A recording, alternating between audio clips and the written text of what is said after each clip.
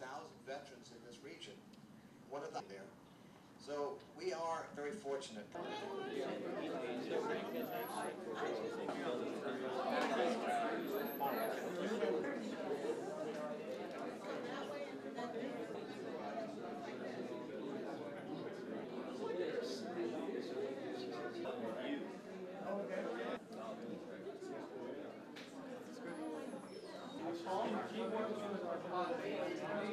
Pretty, pretty decent, and I would say really extraordinary system here.